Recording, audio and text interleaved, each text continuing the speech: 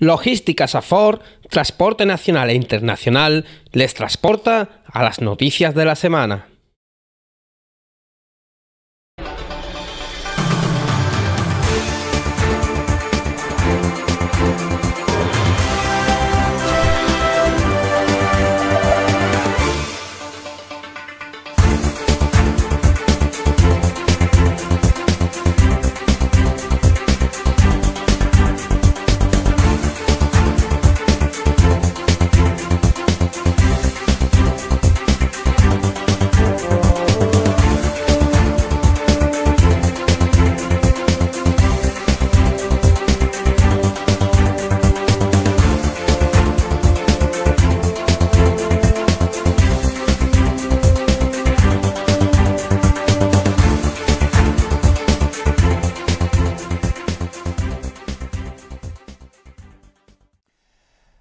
Bienvenidos al resumen informativo de esta semana en Ayun Sur. A partir de ahora le vamos a contar algunas de las noticias más importantes de aquí, de nuestro entorno.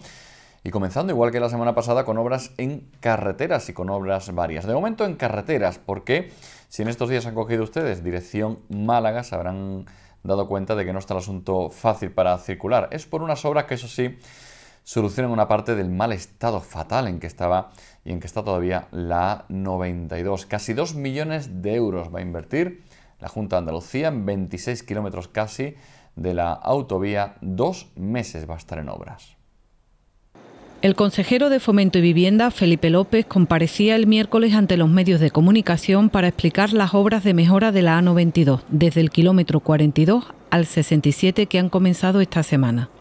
La gran confluencia de tráfico en la zona, 20.000 vehículos diarios en uno de los tramos, con un 20% de vehículos pesados, ha dañado más de lo habitual el asfalto de la vía, según los técnicos, por lo que ha sido necesaria esta intervención cuyo presupuesto es de 1.851.242 euros.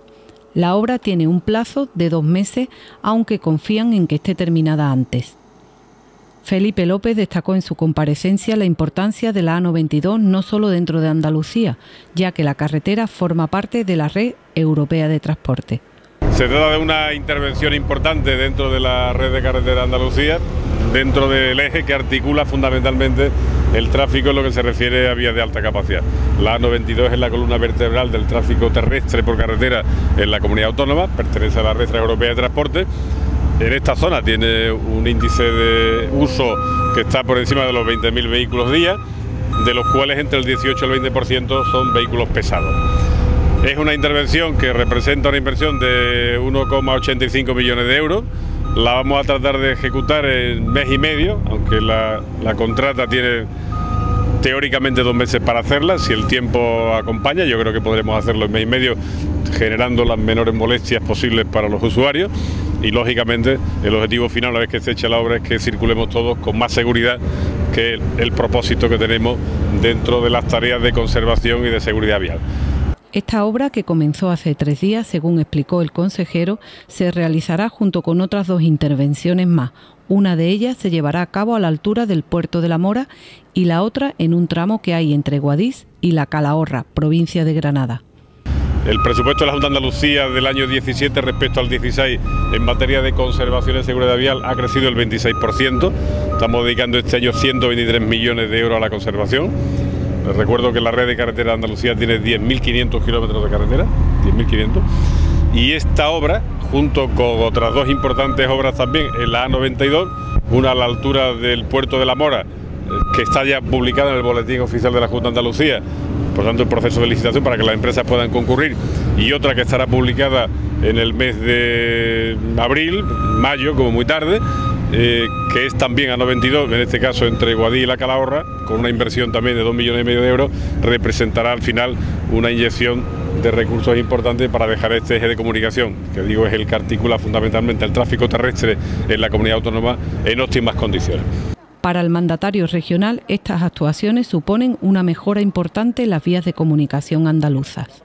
Las tareas de conservación y mantenimiento tienen el objetivo, lógicamente, de, mantener la red en estado óptimo para las condiciones de seguridad y circulación.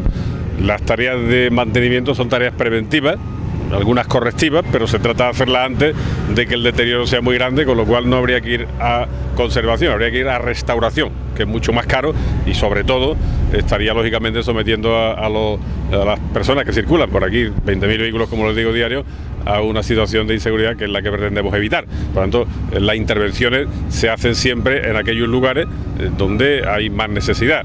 Los firmes tienen una vida mm, limitada, como todo, el uso intensivo eh, por parte sobre todo del, vehículo pesado deteriora los firmes y eso obliga a hacer lógicamente estas intervenciones que con arreglo a los criterios técnicos que los ingenieros determinan se hacen en los lugares que exigen una mayor atención para mantener el nivel de seguridad eh, óptimo en todos los puntos de la red. Antes de la intervención del consejero, el director técnico de todas las obras de la Junta de Andalucía, José Álvarez, explicó las condiciones a las que se somete este tramo de vía diario. Tenemos unos tráficos de 20.000 vehículos día entre el cruce de Utrera y Montepalacio, donde estamos, y baja 17.000 desde Montepalacio hasta Pueblo de Cazalla. Pero lo que más queremos destacar es el porcentaje de vehículos pesados. Tenemos un porcentaje de vehículos pesados de aproximadamente un 20%, que es mucho. La autovía 92 tiene un firme constituido por firme drenante. Es un aglomerado poroso que lo que garantiza es las mejores condiciones de seguridad en época de lluvia. Cuando llueve, el agua que cae en la calzada no se evacúa en superficie por las pendientes transversales de la calzada, sino que penetra en esa primera capa hacia abajo porque tiene muchos huecos y llega a una segunda capa ya muy cerrada de aglomerado, que es la que evacúa el agua por debajo con los correspondientes bombeos o pendientes transversales. José Álvarez aclaró el problema concreto que se había encontrado en estos tramos de vía.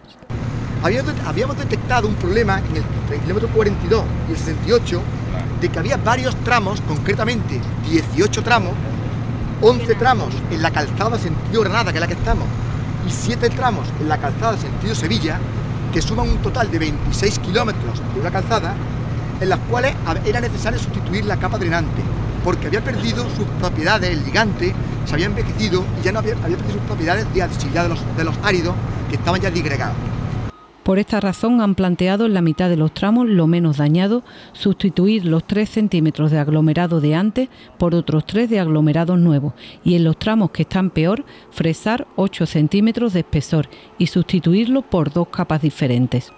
Además, el técnico explicó la composición de la mezcla que se aplicará en el aglomerado de los tramos en los que se está actuando. Quiero destacar que en la capa rodadura, que es aglomerado delante tipo M10, la hacemos con betún modificado con polímeros. Al, añadirle polímeros, que son unas cadenas de carbono y hidratos, al betún, se, se mejoran mucho las condiciones de estabilidad de la mezcla, de resistencia a la fatiga, de tenacidad. El betún pega más, al tener en cuenta que este betún, que está aglomerado, es poroso, que tiene muchos huecos, tenemos menos puntos de contacto entre los áridos, necesitamos un pegamento mejor. Entonces, al añadirle al betún, modificarlo con polímeros, conseguimos, mejor pegamento. Con este nuevo material, asegura, desaparecerá el defecto de la denominada roela y de las grietas de la vía.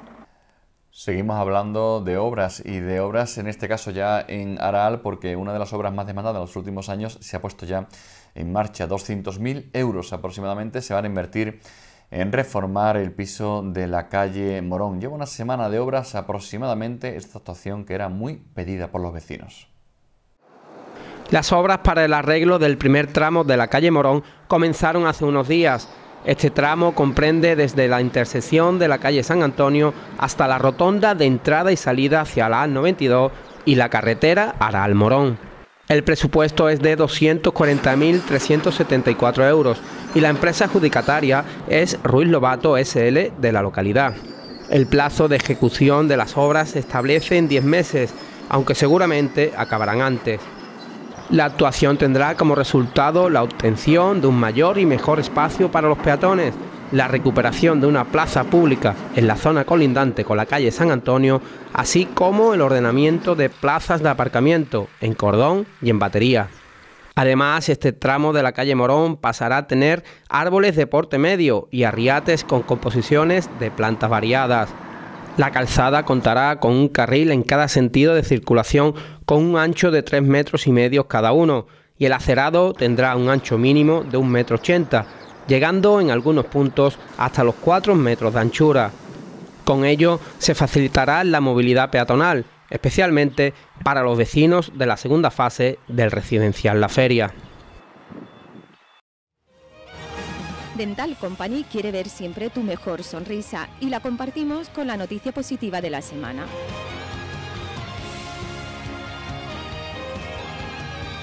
Dental Company, calle Feria 5, Araal.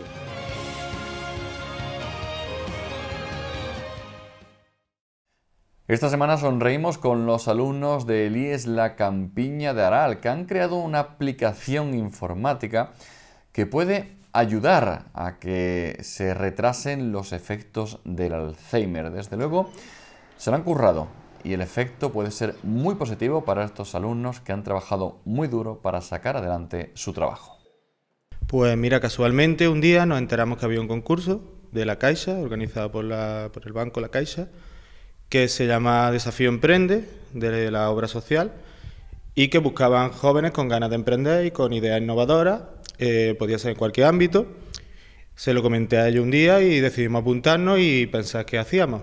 Entonces, pues surgieron un montón de ideas, fuimos puliendo, fuimos desechando algunas y al final, pues casualmente, debido a que uno de los, de los alumnos tenía un familiar con esos problemas de Alzheimer y había visto lo había vivido por dentro el tema de asociaciones, de que algunas veces son caras, de que todo el mundo no tiene esos recursos, pues decidimos eh, pensar en una aplicación para personas con este tipo de enfermedad que les pudiera servir de ayuda y que además eh, fuese a un coste mínimo.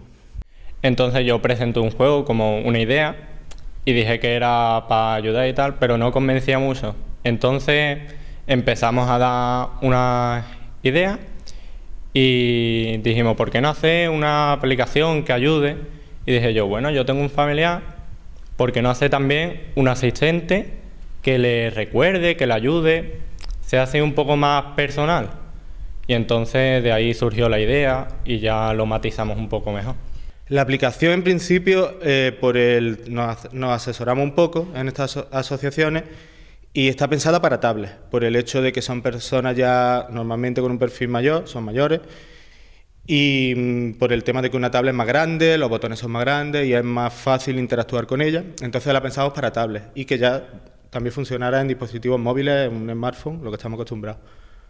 Eh, la aplicación, pues fuimos puliéndola poco a poco y consiste en una especie de asistente inteligente que contiene una serie de preguntas, todas esas preguntas las hemos sacado de, asociaciones de Alzheimer, ¿vale? que no, no, las hemos inventado, que va haciendo esa serie de preguntas, va guardando respuestas de la vida diaria del paciente y después eh, tiene una, otro apartado de juegos, ¿vale? juegos eh, clasificados en diferentes categorías, de relación de conceptos, de memoria, de cálculo, todos esos juegos, todos esos enunciados, también lo hemos sacado del material que los expertos en esa enfermedad nos han proporcionado a través de las asociaciones.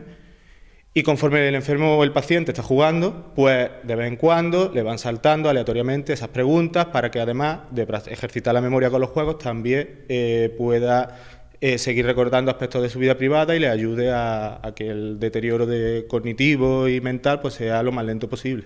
A qué animal me encanta la zanahoria. Tengo un elefante, un perro, un gato, un conejo. El conejo, entonces le dije que correcto, que has acertado. Las preguntas van variando. Ahora te hace la pregunta de antes, para ver si te acuerdas. Sería, mm, mm, por así decir, lo mismo que hacen ellos físicamente en la asociación, a través de juegos físicos reales, eh, pero en un mundo electrónico, virtual, a través de una app. El tiempo eh, real han sido unos dos meses, pero lo que es de desarrollo, el primer mes fue búsqueda de la idea, mm, encontramos ya esta idea, la fuimos puliendo poco a poco pero lo que es de desarrollo de programación, eh, alrededor de un mes, mes, y algo. La principal dificultad que tuvimos en el proyecto ha sido que hemos tenido poco tiempo, mm, ha sido, nos entramos un poco tarde y tuvimos un poco tiempo para realizar el proyecto.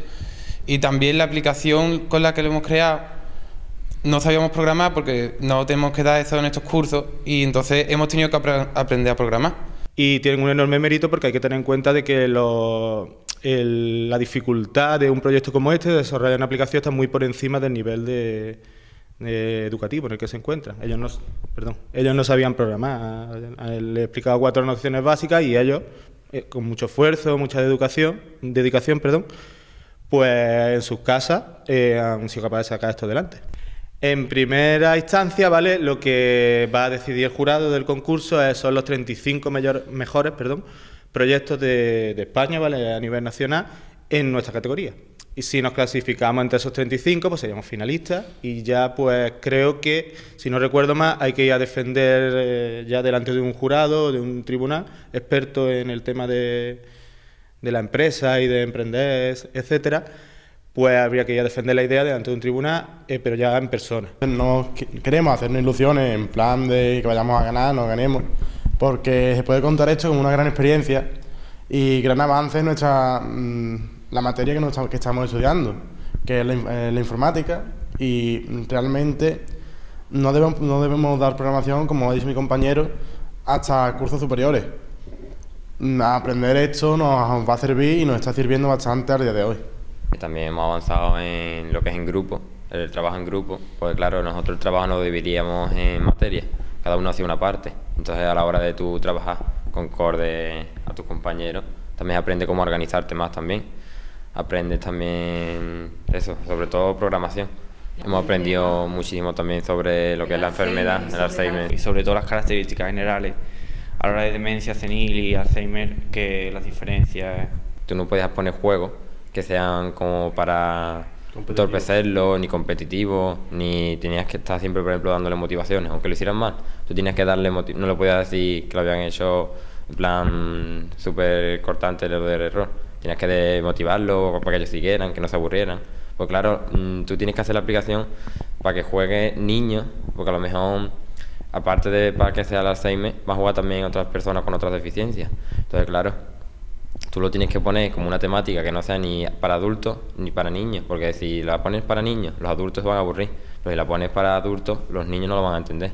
Entonces, pues buscamos un término intermedio. Eso es complicado, ¿no? La adaptamos como buenamente pudimos. También no podían ser cosas muy difíciles, por eso no, se nos ocurrió lo de ponerla por niveles, porque claro, si tú la pones por niveles, depende del desarrollo que tenga la enfermedad del usuario, va a poder jugar unos niveles más fáciles, bueno, no son fáciles tampoco, sino los más sencillos para él, entonces va hasta su nivel, o si no tiene tan desarrollada la enfermedad, puede jugar a otros niveles más complicados, entonces yo creo que ha quedado bien.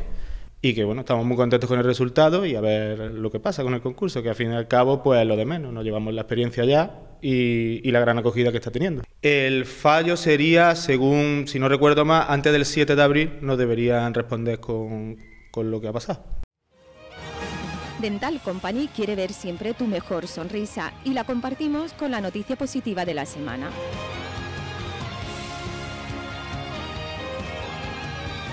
Dental Company, calle Feria 5, Araal.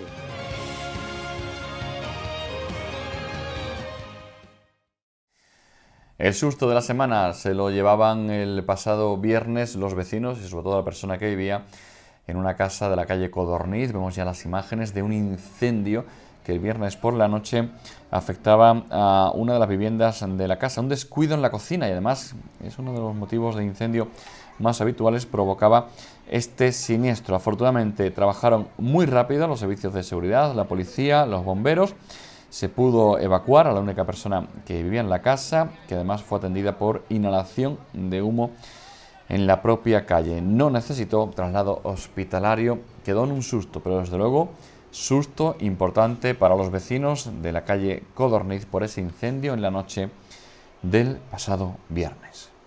Y durante tres sesiones se pudo ver el pasado fin de semana en el Teatro de Aral la bicicleta de John Kerry, el documental de la directora Pepa Álvarez que analiza la relación entre la base de Morón y los vecinos de Aral. Casi una hora de análisis sobre la relación en los últimos 70 años, más de 70 años, entre Aral y la base. Aplausos al final de las representaciones, de las proyecciones en el Teatro Daral para el nuevo documental de Pepa Álvarez. Que lo que le digo es gracias a todas las personas, a todos los hombres y mujeres que han participado en este documental, desde los técnicos hasta los actores, hasta la gente que ha colaborado, hasta las instituciones, que muchas gracias a todos.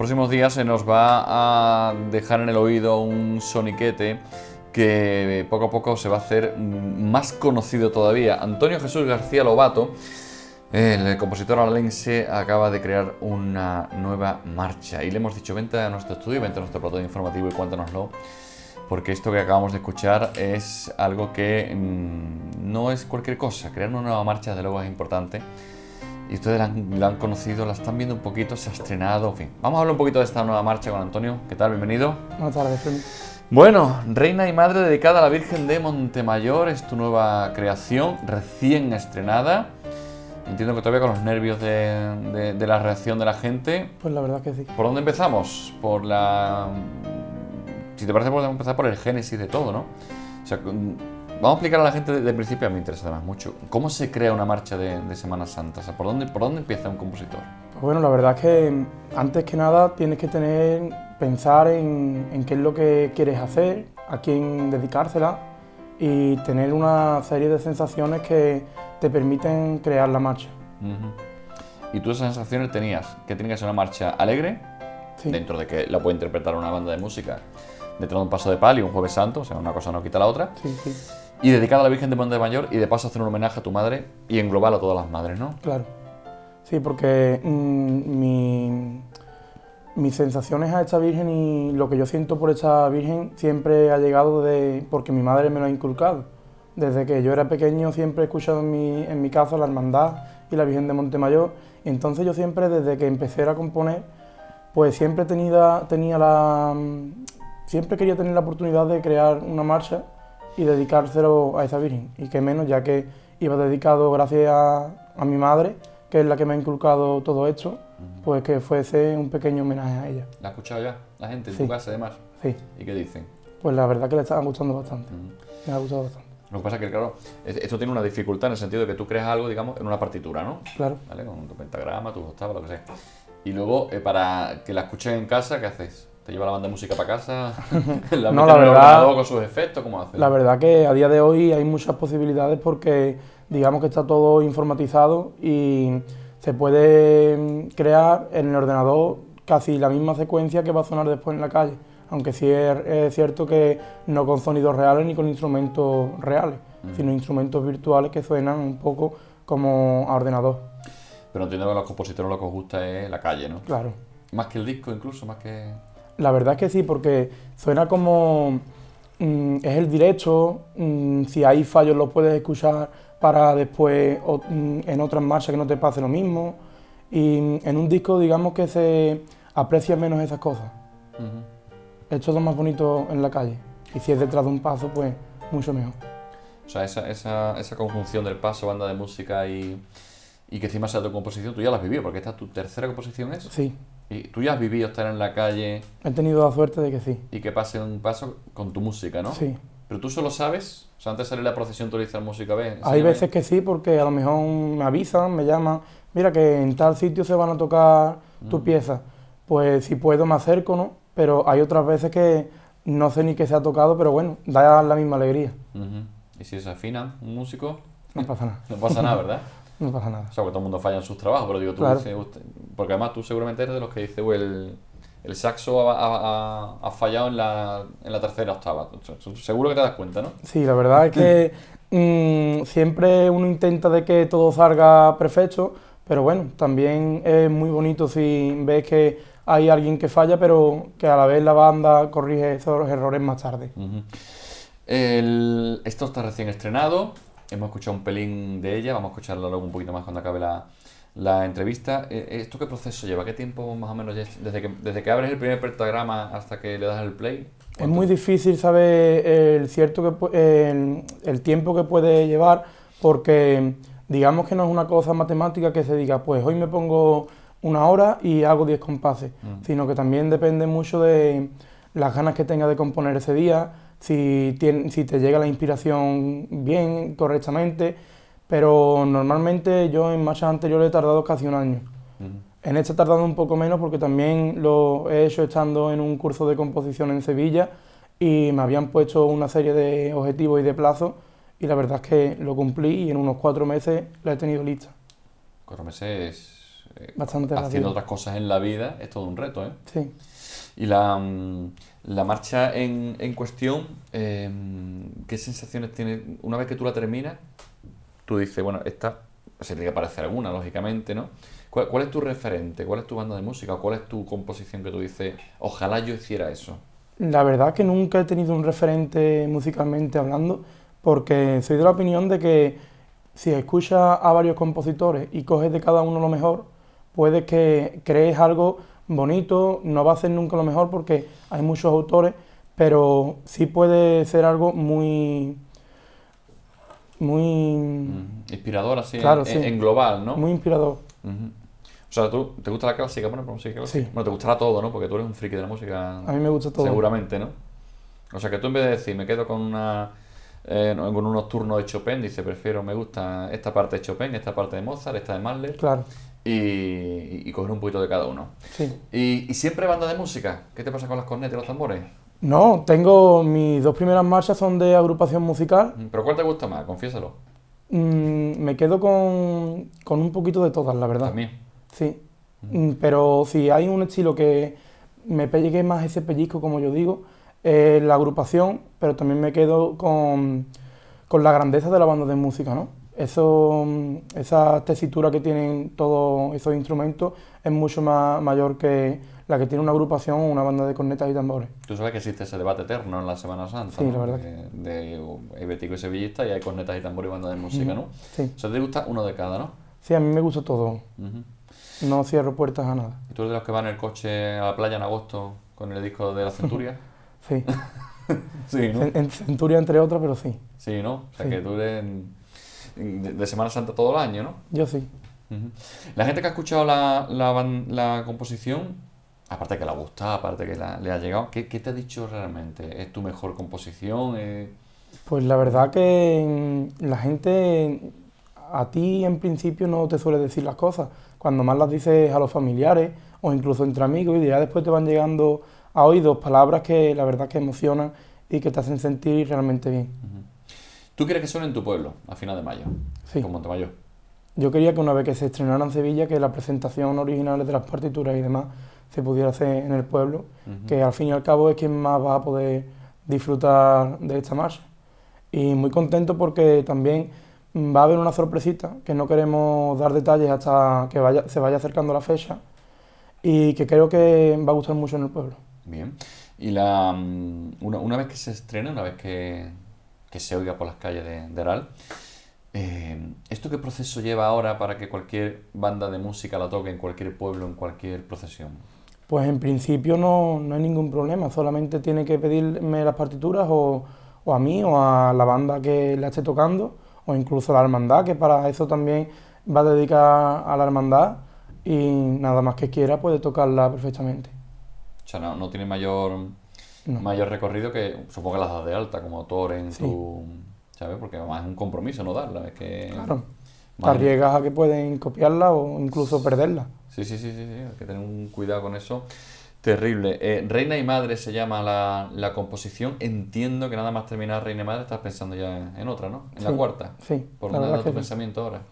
Pues va a ser un, un estilo de marcha parecida pero a la vez distinta, porque va a ser dedicado a una marcha de Semana Santa, de una banda, a una hermandad de aquí de- también de este pueblo, y va a ser también de corte alegre, pero a la vez también va a tener esas sensaciones que, que da la Semana Santa tan, tan pasionaria, ¿no?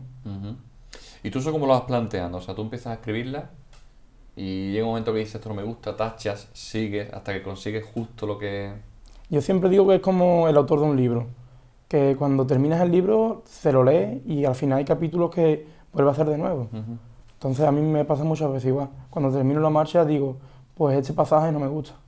Y la verdad que lo quito y, y a trabajar en uno nuevo que guste más y listo. Ujú. ¿Y vas tocando algún instrumento mientras? Sí. ¿Cuál? Suelo, para componer creo que lo mejor es el piano. El piano para componer. De luego más completo es complicado encontrar.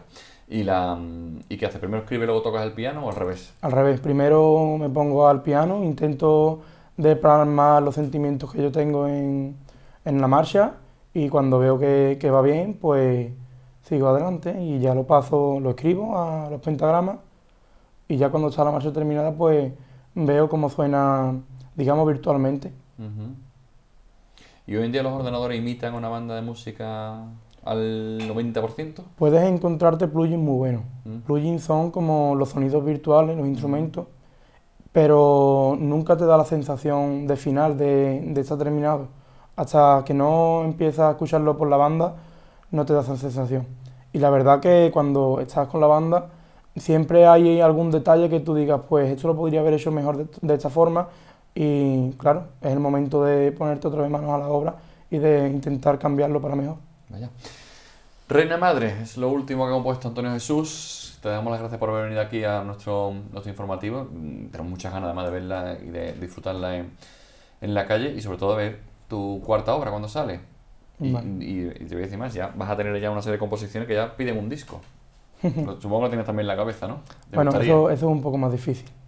Pero te gustaría empezar, digamos, a reunirlo todo, ¿no? Que no quede... Hombre, claro, me encantaría de, Sería un honor poder escuchar alguna composición propia en algún disco de, alguna banda. Ojalá. Muchas gracias por venir a... Muchas gracias a ustedes. Muchas, vamos a escuchar un poquito más y ver un poquito más esa mezcla imagen que nos han hecho nuestros compañeros de esta reina y madre.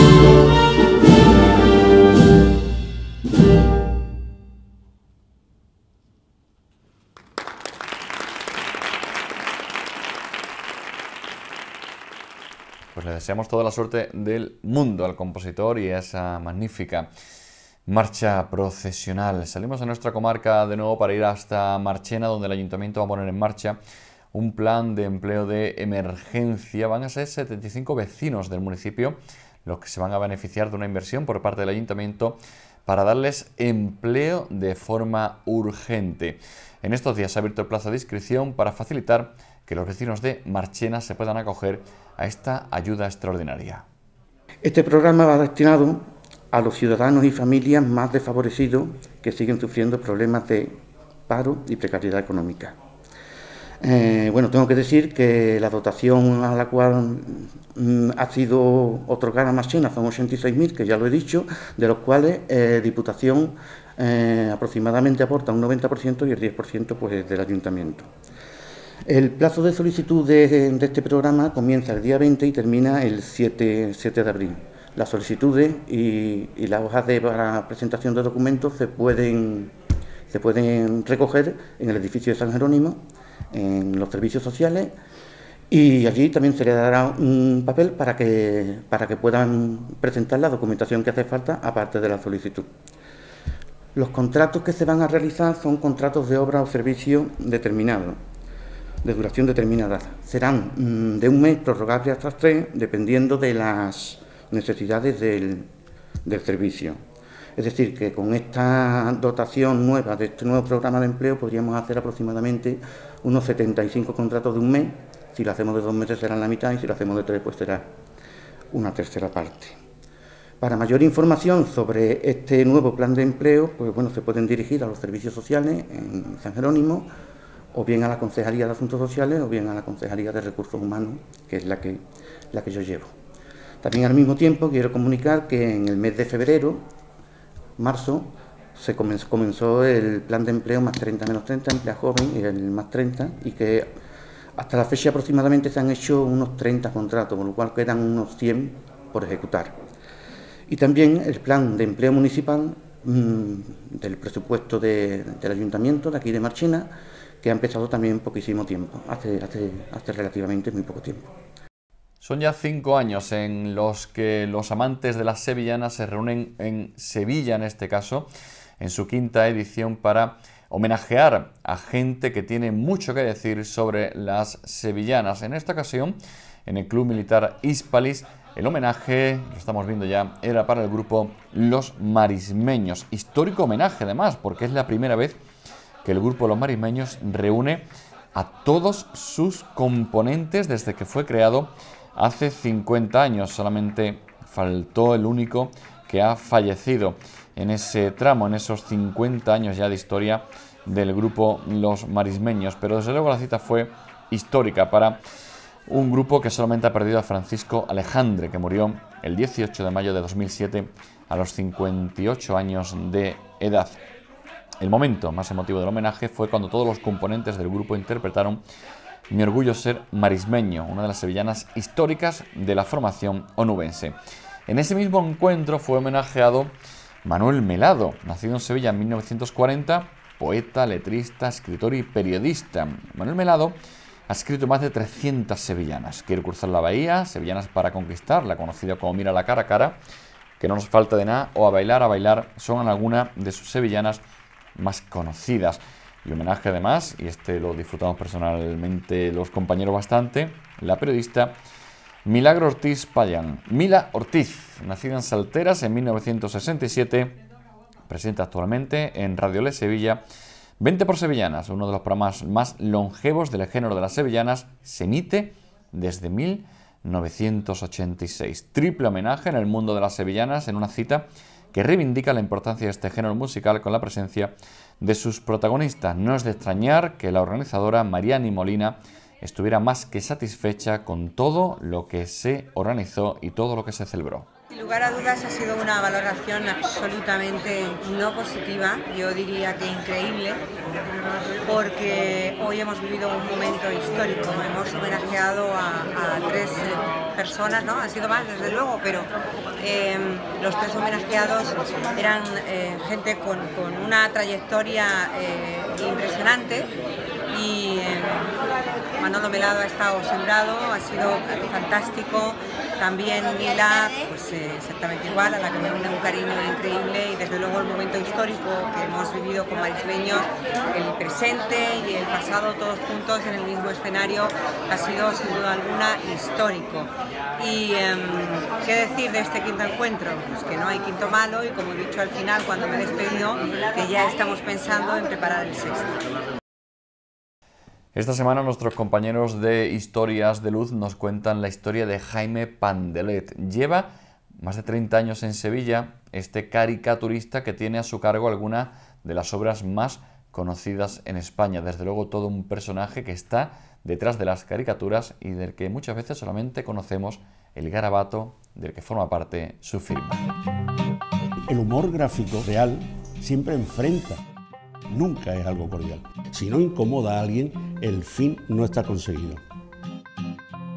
Yo siempre cuestiono, o pretendo, cuestionar al personaje y su significado público. El tema del fútbol, por ejemplo, de deporte, pues es más sencillo, hay mucha más víscera, hay mucha más pasión. El tema de la política sí que es, son seres y seras más camaleónicos y más complicados. Yo creo que es un poco el, el trabajo muy parecido al de un fotógrafo conocer un poco la historia o la intrahistoria del, individuo o de la individua y a partir de ahí va surgiendo todo, el gesto, la mirada, las comisuras de los labios. el tema de las caricaturas en definitiva eso no es más que arte menor. Eso sí que me lo he oído. Y no una vez, muchas. Un jarrón feo es arte menor. Una caricatura bien desarrollada, que tenga sentido y que llegue hacia hasta donde tiene que llegar, es arte mayor y mayor de museo no tiene por qué estar ni debajo ni encima, sino en la misma línea de flotación que el resto de las expresiones plásticas. Mi padre fue una persona que me quiso con locura, pero eso lo que quiere el niño es, es un tonteo, es una abstracción. Jugar de, vivir de los muñequitos no vive nadie. Y yo he ido entendiendo que si haciendo esto me lo paso bien, ¿por qué coño lo voy a tener que dejar de hacer? Y eso ha sido, ha sido todo. Yo el primer cuadro que pinté tenía seis años sigue mereciendo la pena. Soy lo que soy hoy. Un olmo es un olmo. Por mucho que, que se quede sin hojas, se morirá siendo un olmo. No sé ser otra cosa. Nos despedimos ya, le vamos a dejar, hemos estado en Marchena esta semana y le vamos a dejar con imágenes precisamente de Marchena y de la Guardia Civil, porque se han celebrado allí en esta localidad unas jornadas de puertas abiertas en su recinto ferial en el que todos, sobre todo los más pequeños, se han podido acercar a conocer de cerca algunos de los trabajos que hace la Benemérita casi a diario. Con esas imágenes les dejamos y enseguida, a su término, el deporte para repasar lo más importante también de la semana y lo que nos ofrece los próximos días desde el punto de vista deportivo. Es todo, un saludo como siempre, gracias por acompañarnos.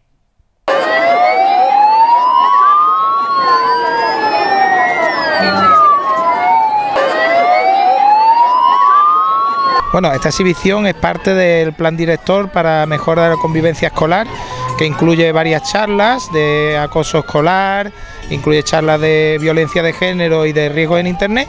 Y como colofón a esas charlas pues también tenemos una exhibición de medios para que sepan los escolares, esto va dedicado más que nada a los, a los escolares, que sepan un poco en qué consiste la Guardia Civil, de qué medios disponen a su disposición en, en las distintas localidades y bueno, pues disfrutar. Básicamente va más encaminado quizás sacarles un poco de las aulas y que conociendo la Guardia Civil, formándose a la vez pues se diviertan, pasen un rato divertido con nosotros. Esto nos lo plantea Guardia Civil, ellos todos los años hacen este tipo de exhibiciones en los pueblos de, la provincia o de la comarca.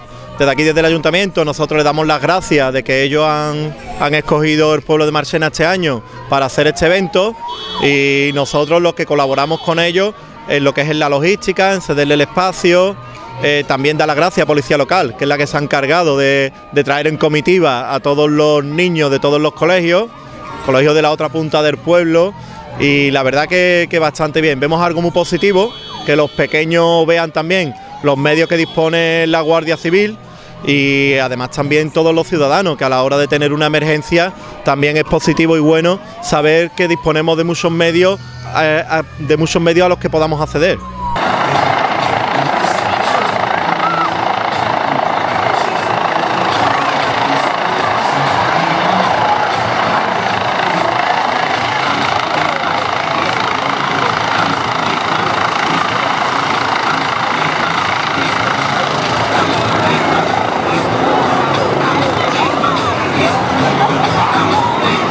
tenemos la unidad de seguridad ciudadana, tenemos el servicio aéreo que ha venido con el helicóptero, tenemos SEPRONA, agrupación de tráfico, servicio cinológico con los distintos perros de rescate y de, y drogas.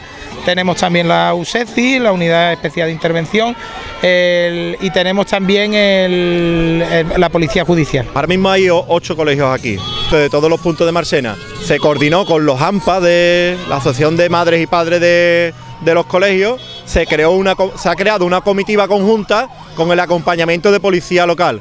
Entonces esa comitiva se ha unificado y han llegado todos unidos aquí al colegio. Aquí el cuerpo de policía local de Marsena trabaja en conjunto con, con la Guardia Civil, tenemos un trato estupendo. De hecho, cuando tenemos algún evento como una feria, una Semana Santa, yo le agradezco a, ellos, a Pedro, a Alférez, tanto a Agustín, al capitán, que creamos los planes de seguridad de forma conjunta y desde esta legislatura, que es la que, desde que, la que yo estoy de concejal de seguridad, yo le doy las gracias a ellos porque nos han creado unos planes de seguridad perfectos.